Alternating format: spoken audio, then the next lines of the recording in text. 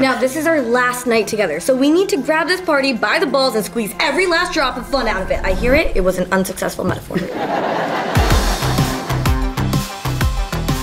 Hey gods, it's Devi Vishwakumar, your favorite Hindu girl in the San Fernando Valley. They had to outlaw extra credit at school because I was doing too much. You know what? Tyra Banks wasn't considered hot in high school either. Here I come! I don't even know what haircut I'm supposed to get. Should I shave one side of my head off like Kristen Stewart? I feel like I'll get cold. As Rhett Butler would say from Gone with the Wind, you should be kissed, and often, and by someone who knows how. Welcome back to the video logs of Jaren and Darren. I'd really, really like a boyfriend.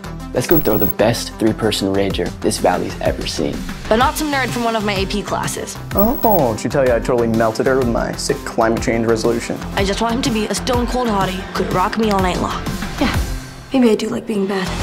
This morning, I really just want to say thank you. I feel really grateful.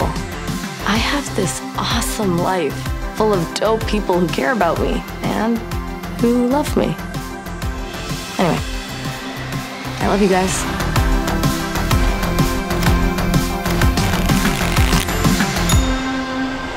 Also, wouldn't be mad if you equally distributed my freshman 15 between my boobs and my ass.